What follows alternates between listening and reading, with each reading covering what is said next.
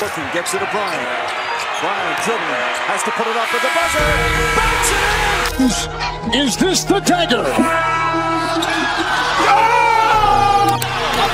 Going to be doing a full collab first round mock draft. This is going to be my first collab one post lottery. So I'm very excited for this because I can't set myself up. It's kind of nice for an unpredictable, uh, unpredictable pick that could be made right after me. Therefore, there's no layups for me to, to automatically give Devin Carter to the Heat at 15 or something like that. uh, what's going on, Sean? How are you doing?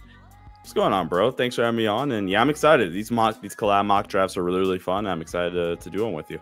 Yeah, definitely. We did one on uh, Sean's pod before the lottery, which was exciting, and that was funny because we had like Reese Shea fall to the end of the lottery, and obviously that would be interesting now who we'd see like go in the top three, and we'll see kind of where Risacher falls here. Um, so yeah. with the first pick, I'll throw it to you, Atlanta Hawks. Is it changed at all, or, or is it the big man from France? It's still Sarr for me. I think Sarr gives you the versatility to go either direction. If you want to just trade Trae Young this summer, you can or eh, you know you have him and Jalen Johnson, maybe Dejounte to build around, or if you can't trade Trae, okay, cool, we have Trae and you know Alex Sarr to build around for our future. So that's really I think the pick for me if I'm Atlanta. Yeah, I, I, agree. I think I would go Sarr specifically too. Like they just kind of need more big men help, especially if they move on from Clint Capela. But I guess it's like such a big looming question for them is like who's going to be on this team next year? Is it going to be Trae Young? Is it going to be Dejounte Murray? Is it going to be both? You assume one of them's going to be there. Do you think that they should move Trae or Dejounte or neither or both if they if they had an option to? I would just move Dejounte because I, I I'm a lot higher on Trae, I think than like mm-hmm. a lot of other people because I, I see Trae getting talked about like he's not an all star at the very least, right? Mm-hmm. Um, so I would trade Dejounte. Trae's still one of the better point guards in the Eastern Conference, and I think Sarr is a, a perfect guy to compliment him with now. And Dejounte honestly might have the better market right now, just based off like what the perception of the the two players are. Yeah, and like Dejounte is like 30 million a year for the next four, which isn't bad at all for what he showed without Trae Young. And if it only takes like a first or so to get him, like I would buy low on Dejounte. But I wonder if like a team like do you think the Lakers would revisit that this offseason? I know they were in talks with yeah. like D'Lo at the deadline. Yeah, they would. Because you probably only have to give up maybe that 29 first maybe yeah. protection on it. So it's not like you have to give up. I assume if for Trae, you're giving up at minimum two unprotected or very yeah. like lightly protected ones. Um, all right. So at number two, I would not do this specifically, but I do think it's going to be Reese Shea. It seems like it's kind of locked that Sarr and Reese Shea are going to be the top two picks in this draft, which is cool. Uh, two French prospects going one and two. It seems like what kind of uh, Washington is building there is like these lanky forwards that can shoot the ball. They like that in Deni. Um, apparently, Bilal has grown to six nine. So I don't think that they're getting a franchise guy with Reese Shea, but I think they're getting a good complementary piece who could be a nice floor spacer if they add a center that really can't space the floor at all. Risacher can provide that versatility next to him in the front court, can play the three, can play the four. Um, I don't think he has a super high ceiling in this league. Definitely, they need to bring in a point guard or initiator if they don't bring back Tyus Jones. But I think right now, like predicting it, it's going to be some way, shape, or form one, Risacher two. But if Risacher goes one, it would be Sarr 2. So I'm going to have Reese Shea go to the Wizards there. So we got the Rockets at three. Okay. Um, Houston then at three. I, I really quickly, I'm curious of your thoughts about this. I don't like the the the Clingan to Houston talk at three. It for me personally, it just doesn't make sense. Not because Clingan's a bad player. He's seventh on my board, I think, right now. So like value wise, it would be justifiable, mm-hmm. but just fit in situation. I'm like, yeah, I don't like it. I'm i agree. Curious like you're going to invest the third overall pick. This is like one of the main pieces back from the Harden trade into a center that may not even play more than 20 minutes a night for you. That exactly. maybe can't work next to um definitely I don't know if it could work next to Sengun or Jabari. Like you got to figure that out. You have Steven Adams into the fold as well. This Rockets team is pretty deep with guys that need minutes, and I think Clingan of a crowded position wouldn't be a good pick either. Okay, cool. Yeah, um, I'm, I'm glad we're on the same page because I, I keep seeing them like that makes absolutely no sense to me. But I think you know where I'm going with this. It's Reed Sheppard. One of my more favorite like mocks picks in this draft class It's Reed Sheppard to Houston. Um, really good ball handler, one of the most efficient shooters in this draft class. Even though he is on the smaller side, really tested well athletically at the combine. Uh, really good hands off the ball, which I think is going to eliminate him from being picked at a little bit more defensively. So Reed Sheppard, throw him in there. Could be your potential long term starting point guard once you let uh, Fred VanVleet walk or leave, yeah. rather. Yeah, I like that a ton too because I think Sheppard's almost the perfect offensive prospect. Obviously, there's like questions of finishing at the rim with his strength, and he's not like the biggest guard in the world. But even on defense, I think he's going to be fine. And if it's a, if it's a spot like Houston where they have Dillon Brooks, you have Amen Thompson like developing as obviously already a great defender already. Like I think you're going to be able to hide his defensive issues there in Houston specifically. And there's no better coach in this top five to probably be under defensively than Ime Udoka. So this is like a beautiful fit, and I love it a lot too. Sheppard to the Rockets, I think is a great fit, like you mentioned. Uh, that leaves San Antonio at four. This is where I've been like back and forth before on them. Uh, I think there's like a chance like you can go Dillingham, you can go Topic. There's a chance if they like Collier a ton, they can get him at eight and they can prioritize defense here. I'm gonna have them go guard. Um, it seems like a lot of people were mocking Dillingham to San Antonio. So I'm honestly going to have that for this mock specifically. I've done Topic myself, but I've seen like obviously there's a clutch connection, like he's a clutch client, and there could be a connection with him in San Antonio. Uh, a good shot creating guard, not known for his defense, uh, maybe a subpar passer right away, but obviously is a good four spacer. And Wemby's going to get doubled a ton, and Topic uh, isn't going to be as good of a shooter as Dillingham right away. So I think you're going a little bit of offense here, more for shot creation in Dillingham at number four, which I'm still torn if they would go that route or maybe they'd wait guard at eight. Detroit here at five. I'm really freaking bummed out that Zachary Risacher isn't here anymore because I think that's one of, if not the best fits in this draft class. So I'm curious where your head is at here. If I'm Detroit, I you maybe consider I don't want to use the word reach, but reach in air quotes and go get the best fit, which is just Dalton Knecht here at 5 mm-hmm or do you go get a Matas Buzelis? Or actually, in a perfect world, I would really consider trading down if you could. But uh, I'm assuming we're not going to do trades here. So if not, we we could if you want to trade the pick. But I think I actually don't hate the Knecht idea because I think this is like a pick that like this front office needs to save their their jobs on. And if they take a developmental guy, yeah, like and they're bad again next year, like that front office is gone. So like maybe Knecht could be in play there. Um, I because I like Colin and Castle as prospects specifically, but this team also needs shooting, and those guys have obviously a lot of question marks. I mean, so does Buzelis, but he's projected to be the best shooter of the three. We could we could trade down if you want to. Um, like, do okay. you like do you like maybe a team like Memphis, San Antonio? Um, OKC's obviously got picks. We don't have to like do the full package. Like, we could just say there theoretically would be other picks involved, but it'd just be five to move down to like ten or something.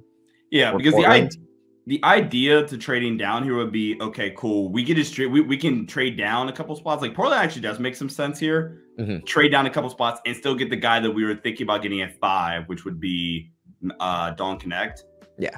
So who's I, Portland? Who's Portland come up here for then? Just like whoever like their top wing option is here. Then we would I assume. Think, yeah, maybe it's Holland, maybe it's Clingan if they like him a ton to take him Fair. at five. So I think that could make sense because I mean Portland has a bunch of picks. They have some nice seconds they can include in this deal as well. So I, am cool with that. Okay. Because you're going to be making this selection anyway at seven. So I guess you, yeah. you still be getting your guy at seven. So we'll do that. So we got Portland on the clock. So I like this. Like trades are cool on this because they'll happen. Yeah. So now if I'm Portland, I trade up and I I don't think tra- I think I'm just gonna trade up and get one of our wings. So I think. I'm gonna go Ron Holland because honestly, I think if I want Clingan, I think Clingan would have been there at 7 mm-hmm. So we're gonna trade up and get the best wing in our opinion, and it is Ron Holland to me. Guy that's gonna come in day one, be a really good defender, has a bunch of physical tools, and and if he is able to put it together, can be one of the three best players in this draft class, in my opinion. Has a ton of offensive upside. And he started to trust the jumper a little bit more down the stretch. That gives you something to, to be optimistic about. Yeah, and I, I kind of like the fit for him in Portland because like Chauncey Billups kind of a more defensive minded guy too. He can come in, learn from Jerami Grant, who had his issues shooting the ball at Syracuse and early in his career. So that honestly could be a good prototype for Holland eventually to develop under. And I think there'd be a chance Charlotte could take Holland at six. So that would make sense for them trading up to get their wing for sure. Yeah. For Charlotte at six, man, there's like the Topic idea because like I like Sheppard, and then you can maybe make LaMelo play off ball. But I think I'm going to look to get a little bit more defensive help. And I, am going to go Stephon Castle here. Uh, I think like they have plenty of shooting with guys on their team right now. Either it's man, uh, Nick Smith as complementary guys. Uh, you have Brandon Miller, a good shooter, LaMelo, great shooter, and Castle could even play. He can guard fours, and, and depending on the team, he's got good size, a good frame. He can move his feet really well. He can cut, he can slash. So I do like Stephon Castle going to the Hornets here at six, but they'd have a lot of options for sure there. Yeah. Does does Stephon Castle saying he wants to be a point guard concern you at all if you're Charlotte? Yeah, I forgot that. Like he, I know that his camp was saying that. Honestly, I think that gives me like if I was gonna go Topic there, which I thought about, I think I'm cool with that. I, I guess you're trying to convince Lamelo to play a new role, which I don't think is going to be easy to do. Yeah. Um, so I, I do see that if he's like, I want to be a point guard, and Lamelo is not cool playing off ball, obviously that pick really wouldn't make a lot of sense, and then you can kind of pivot. But I Yeah. think if Castle is cool playing off ball with Lamelo and then run the second unit if they stagger those minutes in a way. And Lamelo hasn't been the healthiest guy over the last couple of years as well, so he could get plenty Sure. of run as the as the point guard. So I guess it really depends if he's like, I'm not going anywhere where I'm not going to be the starting point guard. Okay, that makes some sense. And then Yeah. Detroit here, uh, it's Don't Knecht. We we traded back. We you know accumulated more draft assets to ultimately get the guy we were going to take at five. I think that's just perfect process from an organization standpoint. And Don't Knecht, one the this one the better fits. Detroit needs some more shooting on this roster. Try to space the floor a little bit more for for Cade Cunningham and Jaden Ivey. Um, I, I don't really consider a big here. I still love Jalen Duren and I want to give him some more time to, to show his NBA worth. So I like Don Knecht here a lot for, for Detroit. Yeah, I like that too. And I think Knecht, like, it looks better at seven than it does at five. So I, I kind of like that. And if you're picking up multiple seconds in that, like, I, I think you do that for sure if Knecht's your guy. Yeah. So that gives me eight San Antonio. Now I'm like, oh, maybe Dillingham at four, because then you could go double up on guards and have Dillingham play more off ball. Um, with Topic kind of running the show there, but I'm actually gonna go. I'm gonna go Matas Buzelis here. I think he could be someone in the half court that could play adjacent to Wemby in that front court. He's got good size, and if you have Dillingham out there with maybe it's Malaki Branham or Keldon Johnson and Vassell, and even Sochan has shown some force spacing ability. You can kind of hide Buzelis's um, outside shot in the early part of his career until it fully develops, which I'm confident that it will because he was a good shooter in high school. And the Ignite was just a weird position. And playing with Wemby alongside him, and he's getting all the attention and doubled. And if you have Dillingham out there as well, Buzelis Yeah. can get some nice open shots. So I'm going to go the upside play with Buzelis there at eight. I, I, I like Buzelis. I will Mhm. say, I don't know. I kind of walked away from doing my my evaluation. I'm like a little bit underwhelmed, but there was still a bunch of stuff that I really really liked about him. Uh, my pro comp, I, I kind of hate doing pro comps, but I said Mhm. screw it this year. Why not? I said Franz Wagner. Like if it really works out for Amos Buzelis, Franz Wagner, like kind of weird, unorthodox players in a way. But like the way you can utilize them as offensive players is so freaking fun. That's the one thing I will Yeah. give the G League Ignite credit for. They utilized him in a bunch of different ways, whether it's coming off a screen, off ball screens, using him in pick and roll, post up, stuff like that. And I think this is the perfect system for him to, to be able to enable that while still having good defensive upside. Definitely. I, I like that comparison as well. And I, I think like you look at him compared to like Holland, like Holland pretty sure was not a good shooter in high school either. It's funny because if you go through like their 247 rankings or like their max preps or like the McDonald's All American like highlighted the player, if they're a good shooter in high school, they'll like showcase that and they'll show why they're like a McDonald's All American. And if they're not a good shooter, they will just not show those stats whatsoever. So it's kind of like hard for at least like somewhat of the public to see. But Buzelis was a good shooter in high school, and you hope that this year was like an outlier, and he has like the Franz trajectory of shooting. Yeah. Um, Memphis, very easy pick. I know Nikola Topic is falling, but this is Donovan Clingan. Mm-hmm. this is Donovan Clingan. For sure. I mean, like this is great for them. You put you can move Triple J to the four eventually, and Clingan is NBA ready for a team that is trying to win a championship next year. Like they they're gonna have those aspirations. yeah. V- very easy pick.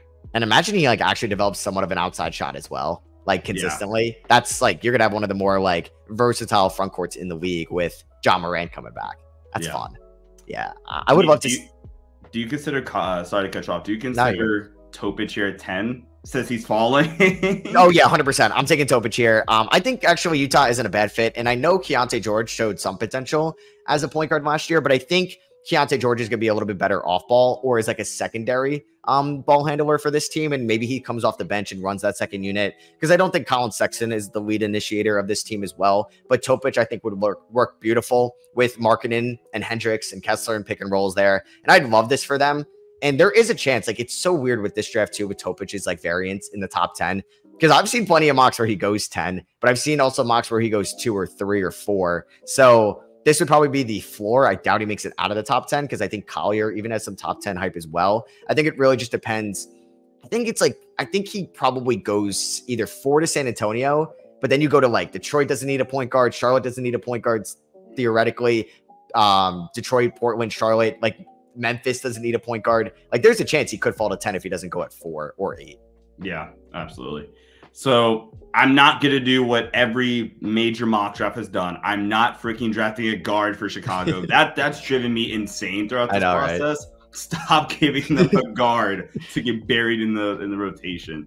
Um, if if I'm Chicago, I, this is also on my favorite pick. Sorry, OKC. I'm just give me Cody Williams, right? Mm-hmm. Nice long term stash, has good size. I'm a fan of his like offensive upside as well. I think when he was healthy, his defensive tape was really really good as well. Um, yeah, for me, it's going to be Cody Williams here at 11, and I'm really happy about this pick by Chicago.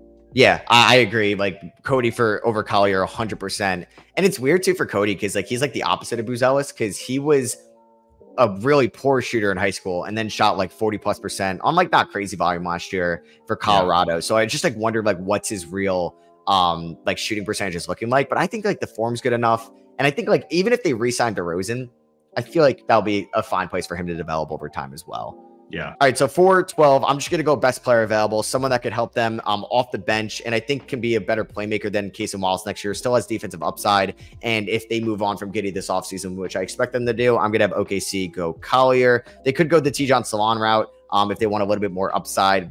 Maybe they go Yves if they want some rebounding help, but I think they'll do that either trade market or free agency. So I'm going to go Collier to the Thunder at 12. Okay. So if I'm Sacramento now, here at 13, Kobe Walter would be fun. Mm-hmm. But Devin Carter would also be fun. But I'm just mm-hmm. gonna go again. One of my favorite fits. I'm just gonna go Jared McCain, who okay. probably the best shooter in this draft class. That I think has more upside and just skill than he's kind of getting credit for. With just the situation at Duke where they had Tyrese Proctor's like to best utilize Proctor, he has to have the ball in his hands a lot more. They had Caleb Foster. They bought Jeremy Roach. They had a bunch of other dudes on that team that need the ball in their hands to be effective. Where Jeremy McCain could be off ball and, and be an efficient player. But when I want to say it was Tyrese Proctor got hurt, and it was a stretch where we really got to see McCain get the on ball role. He really, really played well at it. He can get to the rim. He's not, you know, a super like paint touch guy, but he can get there. Is a good below the rim finisher, good playmaker and just a smart player in general, really competes defensively. So I'm gonna throw him in there. You're probably gonna lose Malik Monk this season. This is probably the best you can get if you go for like a cheaper Malik Monk replacement. Yeah, I think they're definitely probably they're probably gonna lose him because they can't afford him um with his bird rights. So like McCain, like we shouldn't overthink this, right? Like he's a top 14 guy in this class. He should go in the lottery in like yeah. a weaker draft for sure. Um, and that could be a good replacement. And he's NBA ready for them trying to make the playoffs uh next year. So last yeah. pick of the lottery a couple guys I like going to Portland here. Um, I assume they move Brogdon. Like, I don't mind Devin Carter to them here at 14, but I think I'm just going to go with the. Mm, that's interesting because we went Holland at five. You know what? I actually think I'm going to go Tidjane Salaün here. I, I, think this is a crowded team right now, and Walter could kind of be someone that maybe won't be beneficial of just not getting reps right away. But I think Salaün could be someone that could benefit from being. Uh, it's either in the G League or um, depending on what they move with some of their veterans. And Salaün has definitely played well um, for Gillette a little bit as of late. And he's someone that I think has some good, like, complementary upside in year one. He could kind of play off ball a little bit. He can cut. He can kind of get offensive rebounds as well, which I think would be a little bit more beneficial in Portland than Walter. But I also could see the appeal in like Walter or if you wanted to go a big man, maybe a Yves Missi there as well. I think there's a lot of options for Portland at the end of the lottery there with the Warriors pick. Still kind of set ourselves up for Devin yeah, Carter. there it is. that, that's that's still going to be the pick. This is just the the one of the most predictable picks in the draft if, if that guy is still there. You solidify your backup point guard room, really freaking good rebounder, good defender. I think a lot of the questions and why I think early on in the process a little bit low I was I was a little bit lower on him was because I think a lot of his questions, the question marks you could have about him as a player, regard him as a like shot creator, especially self-created shot creator. Mm-hmm. Whereas at the NBA level in Miami, he's not going to be taxed with being a, a self creator very often. So really good player, going to contribute right away for a, for a win now team. And Miami definitely is trying to maximize this window as long as they possibly can. For sure. Perfect fit there. Funny it ended up happening still. Um, so we got the Sixers at uh, 16. Honestly, the way that this draft has fallen, still like I like a couple options for them. I like Missi, I like da Silva, I like Ja'Kobe Walter, who I'm going to go with here, who I do think could be a good shooter right away for them. Uh, there could be question marks defensively in the first couple years of his career, but I think he's athletic enough, strong enough, quick enough. Well, he'll be just fine. Obviously, with Embiid as your kind of rim protector, they're going to be okay there. Uh, so I'm going to go Walter. I think has a high upside, and that's something Philadelphia could look here. Um, I think they need to draft a good rotational guy, a little bit more NBA ready. Could be Silva, but I'm going to like Walter, who I think contribute off the bench for them next season. Yeah.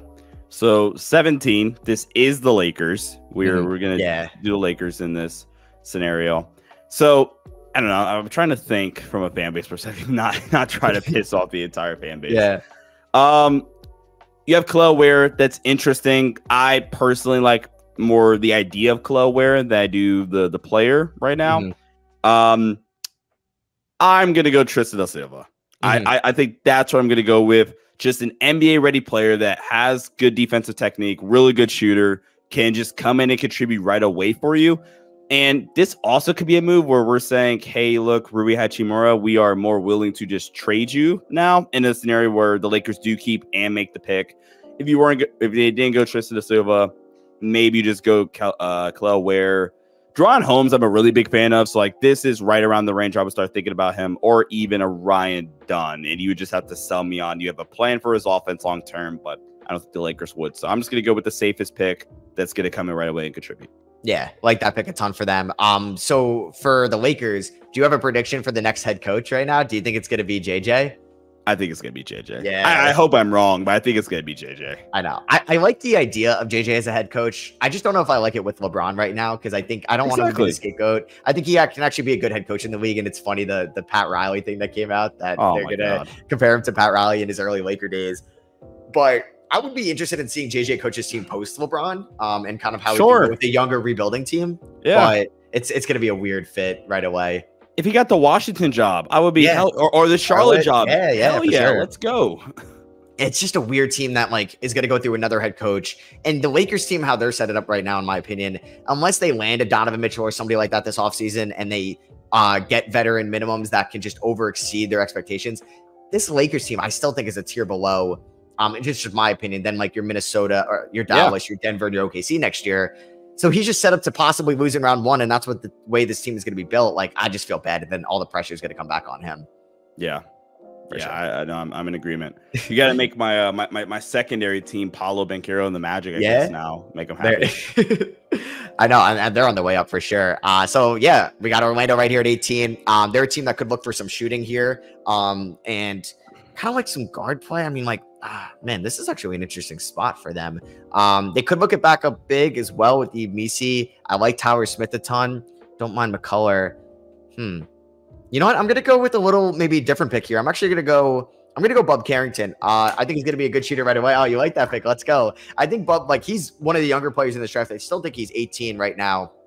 And I wonder how they view Anthony Black as like the lead ball handler for this team Mhm. or the second unit, or he could be better off ball because I think he's going to be a good shooter in this league. And Carrington could play off ball, he could play on ball. He's quick on defense. Um, and I think this is a team where you get a six five point guard into this tall team, kind of fits their mold as well. So I, I like Carrington to go in the the late teens now. Yeah. One of I, I love Carrington. This also really fits the timeline nicely. If they went and there's some rumors that they might be interested in a guy like D'Angelo Russell, right? So Yeah. if you go that route, Bub Carrington doesn't have to play right away. Where I do still think he probably needs a year to bulk up, have NBA level conditioning, stuff like that, straight to conditioning rather, and then he gets to sit behind a, a guy like D'Lo, who I still think can offer some, some some stuff for a young guy like Bub Carrington. Mhm. And then next year you can say, all right, D'Lo, we're gonna start give some of the stuff to, to Bub or whatever. And then, like you said, the the Bub and Anthony Black future backcourt would be intriguing. Like the idea of it, and then Bub also think is a pretty all right defender, like especially Yeah. at the point of attack. So yeah, I, I like that pick a lot for Orlando. Cool. All right, Toronto at 19. Uh, this is from the Siakam trade. this is this is a really rough spot for uh, Yeah. Toronto, I think, because all the guards that I would have really liked are gone right here Mhm, at I 19. know. Like if Bub Carrington was still here, I'm probably sprinting to the board and doing that. If Devin Carter was somehow still here, I'm probably sprinting to the board to do that. Um, I'm just gonna go Yves Missi. I think here at 19 for Toronto.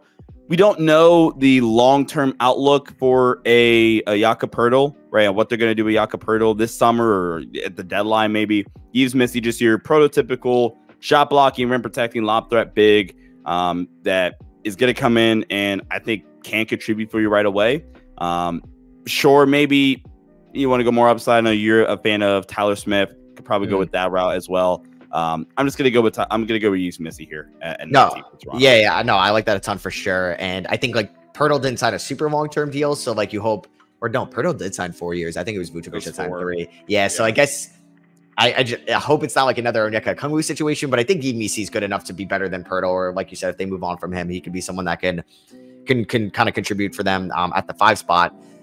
I'm mocking this. Oh, man, I don't know what Cleveland because Cleveland, they're the one team this offseason. I have no idea what they're doing. Are they extending Mitchell and then trading Garland or Allen? Are they trading Mitchell? Are they extending Mobley? Are they going to fire Bickerstaff? I have no idea. Yeah. I'm going to just mock it because I don't think he falls out of the top 20. I don't have a top 20 grade on him, but I think if they move Allen, they still, even if they keep Allen, I think they need some backup big man depth and they're NBA ready, trying to win now with Donovan Mitchell. I'm just gonna go Zach Edey. Um, I don't I don't think I would take him here specifically. I would like maybe McCullough on this team or Kyshawn George or even Tyler Smith for upside. Yeah. But I think the ready now talent of Edey, where he could just be a consistent six to seven points, six to seven rebounds off the bench, put him in drop coverage.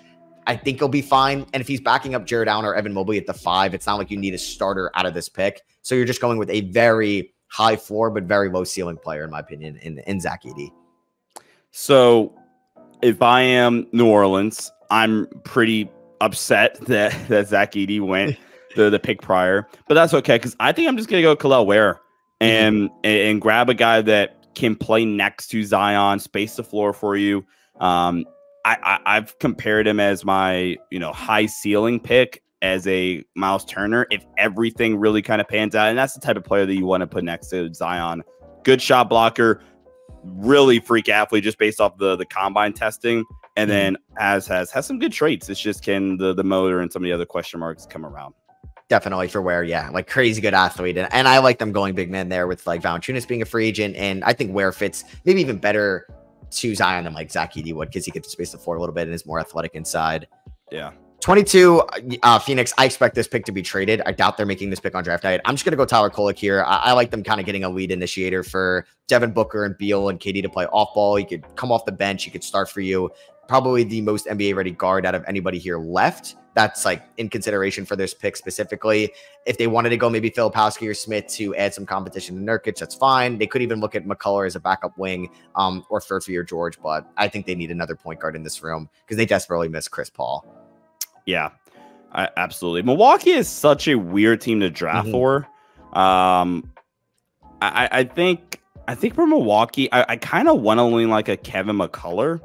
I think a guy that that can play on both ends of the floor, which I just think this Milwaukee team needs. It's just more guys that can play on both sides of the ball. Has some injury concerns. He is an older prospect, but the older prospect thing I don't really care about by Milwaukee because we're trying to win now anyway. Mm-hmm. Try to maximize this window. And if it really pans out, he could be the starter, like the, the two guard in, in this yeah. lineups with with him, uh, Dame, Middleton, and Giannis. So maybe you would have considered. I, I've always been like a Ryan Dunn, but I'm just gonna go here for the sakes of this one. We're gonna go Kevin McCullough. Yeah, no, I like that a ton. Like, let's not like watch Pat Connaughton get major minutes for this team anymore. Let's actually get yes. some guys that can create their shots, that can actually knock down shots in the clutch. And I think McCullough can do that. And I, I like them going older prospect as well. So that gives me my Knicks at 24, and you'll be doing a Knicks pick at 25. Um, yep. the way that this is fallen, I like this because they'll have the option of Kyshawn George, Johnny Furphy, or Tyler Smith. Um, I do think that they're going to be able to bring back Isaiah Hartenstein, but there's a chance they could move Mitchell Robinson this offseason. I'm mm-hmm. just going to go Tyler Smith here just to get some big man depth. He could space the floor. I think he'd be able to play next to Julius Randle, or you can even throw like variation of like Josh Hart at the four next to him or OG Anunoby to help out with his defense because maybe there'll be some growing pains, but I think he'll project to being a good um, either defensive power forward or center in this league. And I think the jumper will translate. It looks good enough. Uh, it was good in the G League Ignite last year. And I know he didn't have like the greatest shooting at the combine, but it's such a small sample size to what we've seen from Tyler Smith so far. So I think a higher upside play with the Knicks there at 24.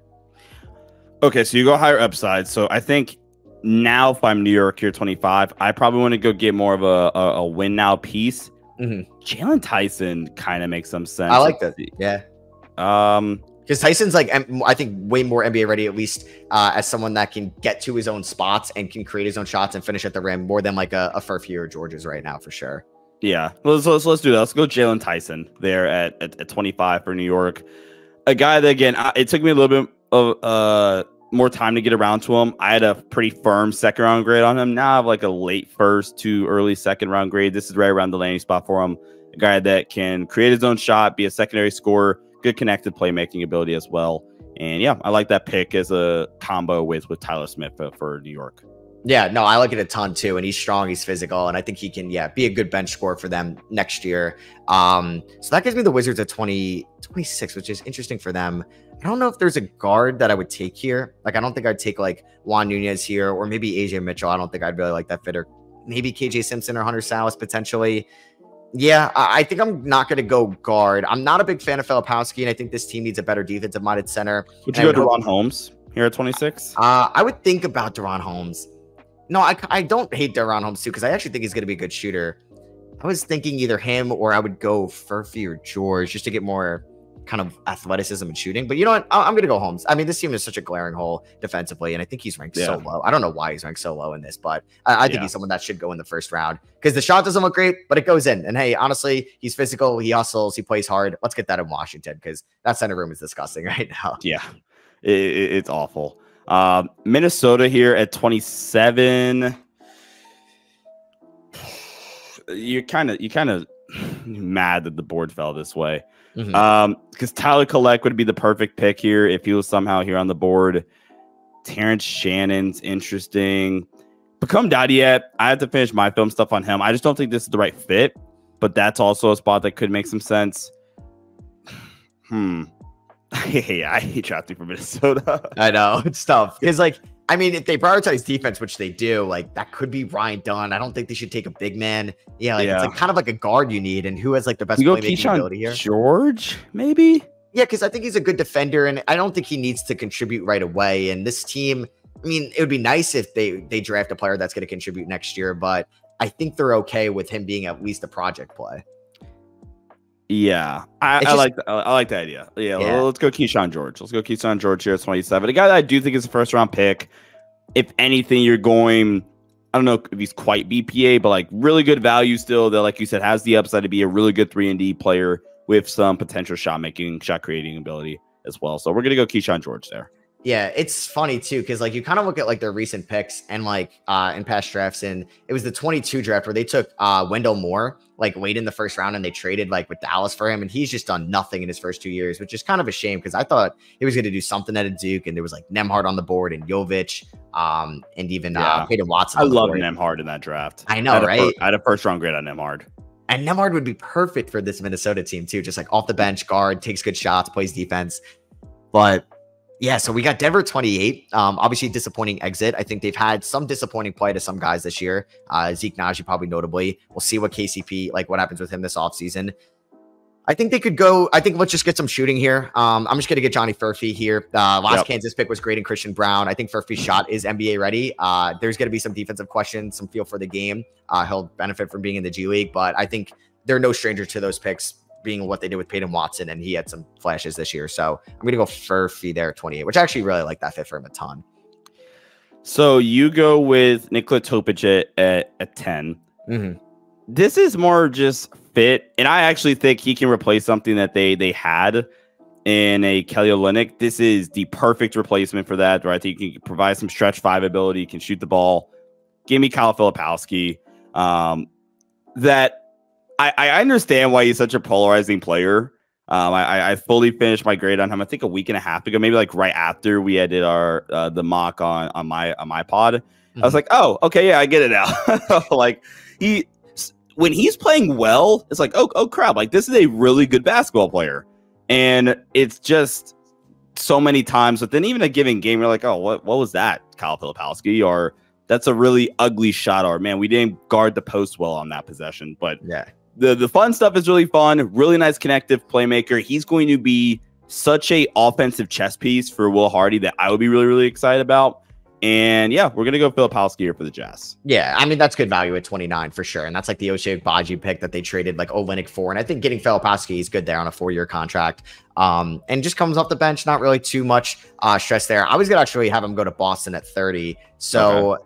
I mean, I hate like picking 30 and like not a two-round mock because there's so many guys I want to talk about. Either it's Dunn or Cam Christie. I was gonna say I would love Dunn if, if I had the 30 pick with Boston. I would say, you know what, screw it. Who cares offense? We're just gonna get. Right?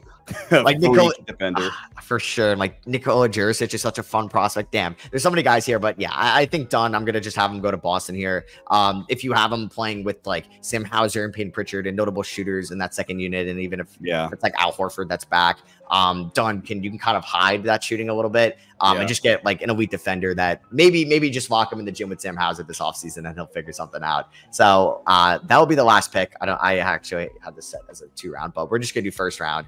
Um, out of all these picks, I guess like maybe what's your favorite pick that that we made here? Think like, bro? Why not just take a gamble on a freak athlete, one of the best athletes pound for pound this draft class? I I don't want to use the word generational, but whatever's like a step down from generational as a defender, that's Ryan Dunn for me. So I love that pick.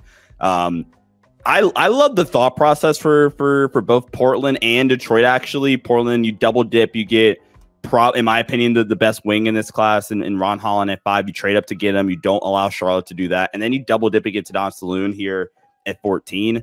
And then, I mean, Detroit, I mean, we talked about it. Detroit getting the guy they were going to get at, at five, trading back, getting more draft assets, and still just getting him at seven, where one, it just sounds better and you get more draft capital.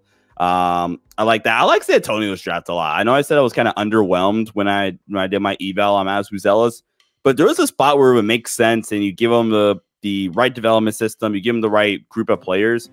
You put them next to Wemby and Rob Dillingham long term, like that's a really intriguing trio of, of young guys. Utah had a good drive. I, I like a, I like a lot of these picks, man. What about you? Definitely. Um, I'm trying to think. I, I I love the idea of Reed Sheppard in Houston for sure. I think he's got a super high floor, and even if he's never going to be an All Star caliber guard, I think he's going to do so many things well, and he's not going to hurt you. I honestly like haven't mocked Knecht to the Pistons at all, but I love the idea of it. I think like why take a project player for this team like a Hollander Castle that you're just gonna add another non-shooter to this team next year, may stump some other guys' development. Get Knecht who can come in right away and be a starter for you and be a scorer, take the load off Cade. I'm a fan of that, especially if they can trade down and get Knecht. I think that's my that's my favorite pick in the top 10 that I've never made before. Yeah, for sure. And then also shout out Bub Carrington to the uh, yeah. Orlando Magic. There we go. Uh, yeah, I, I, like that one a ton for Orlando, and I think they'll have some good options there at 18. Um, so yeah, that's gonna pretty much finish up our first round mock draft. Thanks for coming on, Sean. I appreciate it. Yeah, for sure, man. Thanks for thanks for having me on. Yeah, this was a, a ton of fun. Glad we were able to do another one of these. Yeah, for sure. And you can follow uh, Sean on Twitter too, if especially if you're a Lakers fan. Definitely recommend it for sure. Um, and uh, yeah, we'll catch you guys later. Peace.